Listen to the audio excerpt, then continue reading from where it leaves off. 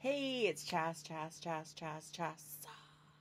There is actually an interesting way of looking at anxiety and depression.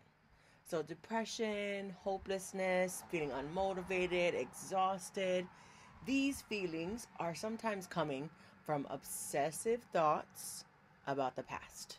So, being stuck in how things used to be.